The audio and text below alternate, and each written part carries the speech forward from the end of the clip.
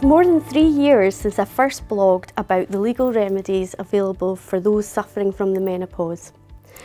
At that time, there wasn't much in terms of case law to report on, but it was clear that those suffering from menopause symptoms were in the age group which made up a large proportion of the workforce.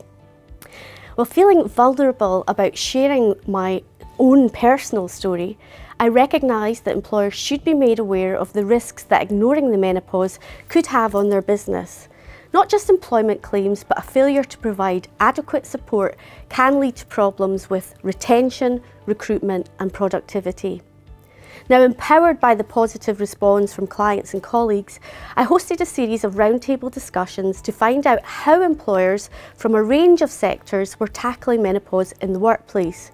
From those discussions, it was clear that the lack of knowledge and understanding of the condition was the biggest hurdle for menopausal people. Our roundtable discussions also formed the basis of an insights paper we produce for clients, which provides top tips on managing the menopause in the workplace, as well as outlining the relevant legal protections. We aim to lead by example, and I'm proud of the journey that Burness Paull embarked on to educate and train our staff. This led us to become the first menopause-friendly accredited employer in Scotland and the first law firm in the UK to hold this status.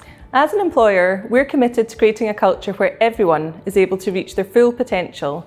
But in order to do that, we need to know who works for us and the barriers they might face.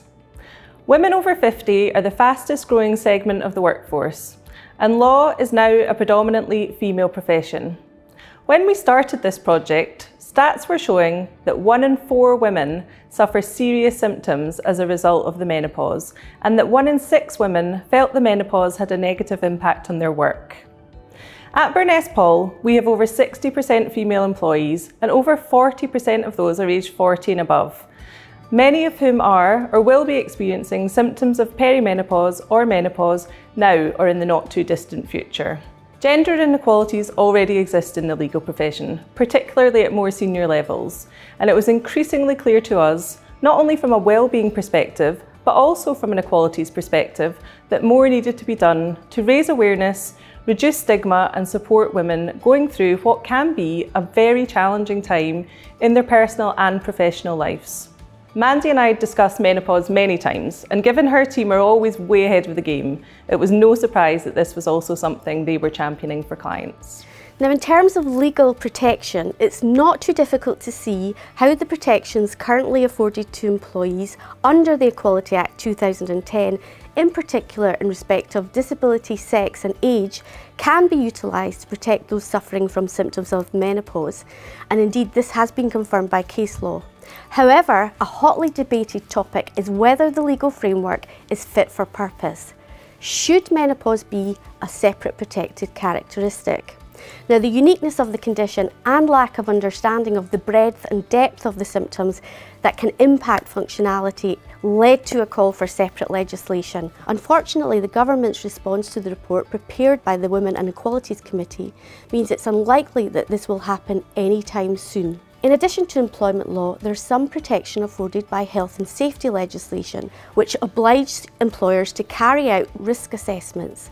This should include identifying measures to mitigate against the effects of those experiencing symptoms of the menopause. Regardless of whether or not menopause is ultimately made a protected characteristic, the increased awareness of the rights of menopausal people coupled with a lack of employer support is leading to more and more tribunal claims citing menopause. Any employer who fails to educate its workforce and provide support to menopausal people should brace themselves for tribunal action. An important point which is often overlooked by employers is that the lack of support for menopausal people could also be contributing to their gender pay gap. If talent is lost at the latter stage of an individual's career, this will also likely increase an organisation's gender pay gap at a time when most businesses are working hard to close the gap.